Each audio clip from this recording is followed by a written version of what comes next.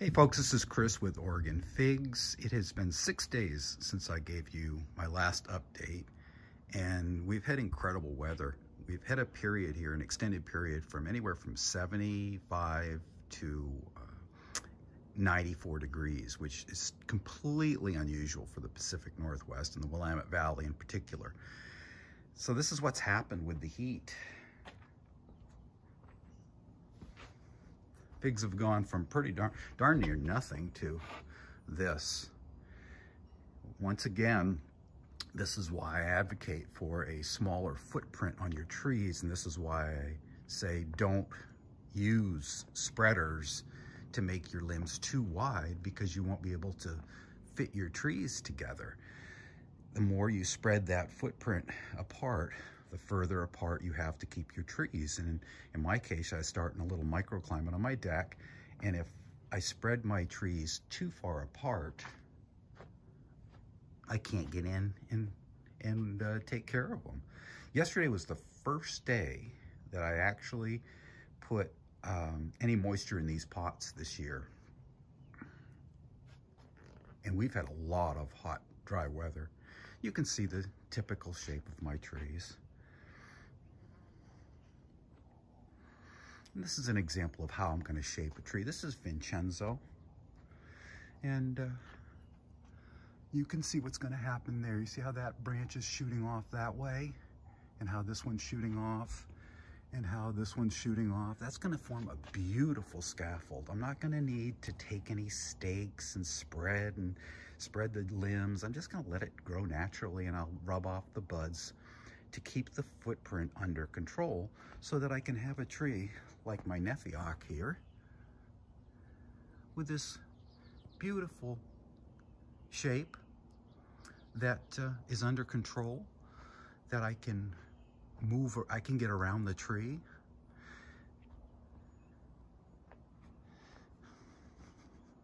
I think if you see the shape, overall shape of my trees, I mean, this is uh, all done without any kind of staking other than the initial staking. Uh, when I first start the tree, here's kind of an interesting shape of a tree. This is De La Roca. And my method there, that's from Harvey back in 2019. I bought a cutting from him. This is kind of like a candelabra. You can see that's kind of a wonderful shape. Let's get in and peek at Joie Noir. Single stem nice and open. All of these just grew naturally this way after I started it up in a single stem and, and rubbed off some buds and occasionally take a, a cutting or two. Let's see. Oh yeah, this is a really cute tree. This is BNR, Bordissot Negra Got the cutting from Harvey in 2020. And uh, this is on its own roots. And typically, this is one that's probably a better choice to graft because it's a slow grower. But I have never taken a cutting off of this. I have never basically done any anything to this other than feed it. Let's pull it out of here. We can, you can see it a little bit better. Bordissot Negra Mamata for ponds. Beautiful shape. Look at that growth. Now, the reason we're getting this great growth is not because of sunlight alone. Sunlight contributes, but it's because of heat. And heat is what gets these trees going like this. Now, if you're growing in an unnatural environment like a greenhouse that offers a ton of heat, you're gonna get you're gonna get fruit set if I go over to these figs, even though we've had some really good heat, well, this is highly unusual. Let's see if I can get in there and focus on this. kind of difficult. Right here. Those are the, those are double bumps. We never get double bumps this early in the year, so that's highly unusual. And that's not because of light. These figs would be getting the same amount of light if it wasn't warm. That's because of heat with the light. So this whole thing of light is the reason you get figs and it's being, uh, it's been said over and over on the internet. let me tell you, I'll give you a little story. I was uh, fig hunting with Doug in Northern California. And uh, it was a beautiful September day. We were going up the side of this mountain, basically. And it was 95 degrees around. And you could see the wild trees. And in nature, what these trees do is when they're spread by birds uh, with viable seed droppings, they have a tendency to uh, grow really well around any kind of drainage or moisture. And they grow together. So one tree will grow up into the other tree. So when you're looking at a fig, it's very difficult to tell which tree it actually comes from. And they form this dense canopy. And there are figs that are getting absolutely no sunlight or very little sunlight on the actual fig. And they're growing and ripening fine. Why? Because the tree is getting a lot of light and it's warm. So they ripen the figs. It's a simple thing. You need light. Of course you need light. That's growing 101. But with figs, you need light. And even more important than the light, you need the heat. This is a tree I really, this is probably my favorite tree. So I'm going to ask a question to you. If you had one tree that you were going to keep in a pot, what would it be? This would be mine right here. Calderona from Wills in, in, in uh, 2019, bought as an air layer. Big, beautiful leaves. Okay, let's do another little walk around the yard.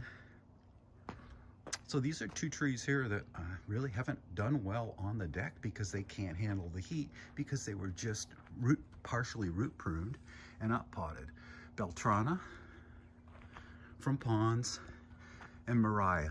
They're both 2021 cuttings that I grew. But they're doing fine under this tree. This heat has pushed all the pawpaws to uh, set out some nice leaves. And this is basically, these get morning sun and that's all the sun they get. When they're young like this, if you can give them shade in the afternoon, that's a wonderful thing. This is the same situation with these jujubes. They just broke and they're doing fine. They're only getting a tiny bit of morning sun. Once again, a little bit of sun and a lot of heat. So heat is the key for a lot of trees. Hey, let's take a look at the project. So you remember the big piles of rock where I took the rock walls out. The rock is all gone. That monster tree that was in the corner is gone. And this is the setup where I'm building my fence. Building prices have gone up. So this is how I'm building the fence. So I explained the chamfer de detail on the top. And let's go to the top of a post and take a look at it. That's the detail I make on my radial arm saw. And it's a 4x4. It's pressure treated, 8 foot, 6 feet above the ground, 2 feet in the ground. With uh, two bags of Sakrete concrete, 60 pounds each. So 120 pounds of concrete at each post. This was the difficult one. I had to detach my section of the fence from the old post. I had to detach the neighbor's section that going that way and the neighbor's section going that way. And uh, had to get out a concrete ball that was 120 pounds out of that hole at the same time. So it all came out just fine. You can see where I connected my old fence into it, the neighbor's fence into it and the new fence into it. So what I do is I, I cut a, one board, and this is a five and a half inch cedar. Try to get the clearest wood I can find. And then I put that in. And after I put that in, I'll go to the next post and uh, put another one in. Then I have a size where I can go through and I can clear a trench out, put my rock in. And what I'm doing here is kind of just building a temporary retaining wall. I guess it really isn't temporary, it's more permanent with the fence. right here, I'm just taking three of the old stringers from the old fence. They're two by fours, pressure treated, and I'm putting them in here. And the reason I'm putting them in here is my neighbor's irrigation is right there and a bunch of soil out and very, very steep grade is here. And now that can come down and that can come against these two by fours and it won't be setting on my cedar boards, rotting the boards. So uh, I use a series of two by four by eight stringers. I use three stringers for extra support. And you can see in the back how they're connected. That's pretty much how I build it. Now this is a new thing that I'm doing this year is I'm cleaning out the soil under the fence and I'm running in by the fence some inch and a half inch round river rock. And first I'm laying in a little bit of uh, quarter inch minus, then I lay the, the river rock in.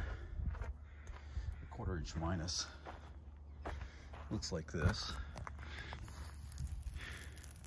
And the river rock goes on top of it. And that will be nice when it rains. The rain will hit the uh, quarter, the uh, river rock and it won't splash mud up onto the fence because I've had a problem with that over here. I'm gonna run it all the way down the fence. See how muddy and gross that looks? I'll wash that off and then I'm gonna run some rock. So that's the project with the fence. It's coming along, six days. These are the two uh, English laurel that I saved when I took the stump out. They've gone through some really hot weather. I'm gonna go through now and I have a lot of leaves that look like this. They're really sunburned. And I'll get my uh, pruning snips and I'll start taking some of these off. Hopefully save that. This one looks pretty bad. So we'll see if that makes it. So that's the fence project. Laurel is popping with all this heat. And uh, yeah, I just bring my boards up here, stage my boards. I create one angle cut for the angle on the top of the boards, and it's the same for everything. So after I have my saw set up at that angle cut, I come across my uh, saw and I basically make one cut. Looks to me like that angle cut is about, uh, about three degrees. So that's all it is. I'll make one tiny cut and that's the top of the board. Take it out and I'll put the boards on. So the boards are approximately five and a half inches wide. And when I get down towards the end, so instead of putting one board right here that's five and a half and another board that's here that's five and a half and having a tiny piece over here, I'll graduate it. So I'll take this board here and maybe this will be approximately four and a half and then maybe four and then maybe three. So I'll, it'll graduate down in size. So you don't see big board, big board, little tiny piece. I'll just rip it on my table saw. And uh, that's the fence. Pretty, pretty stout. It's only been in a week okay, those are the projects. And yeah, I'll double down on uh, what I'm saying about light versus heat. Light is important. Light isn't the important thing. Only important thing when you're growing figs. Heat. I'm excited to see those double bumps. That was a surprise. That we've never, like I say, never had this kind of weather this early in the year. So it almost mimics what you'd see in a greenhouse to a certain extent, except the greenhouses that across the country, many of those have started way earlier and they have a lot more growth. This is an interesting tree here, Del Delson Wamigran. It had a, um, it had a sucker coming up right in here. And it was coming up, oh gosh, it was probably 24, 28 inches tall.